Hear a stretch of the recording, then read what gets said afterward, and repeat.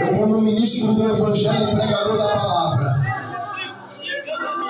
derramo sobre a tua cabeça o óleo da unção, reconhecendo o ministério de diaconisa sobre a tua vida e recebe o Espírito Santo de Deus sobre ti.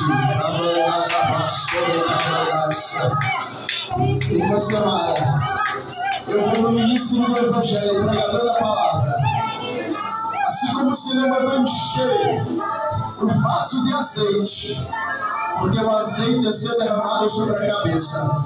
Hoje, nós te reconhecemos como diaconisa dessa casa e o óleo da unção desce sobre a tua cabeça.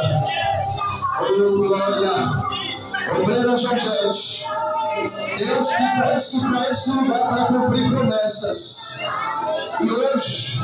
Eu, como ministro do Evangelho, pregador da palavra, libero sobre a tua vida a unção e reconhecemos a chamada da tua vida como diaconisa nessa casa, recebe a unção sobre a tua cabeça.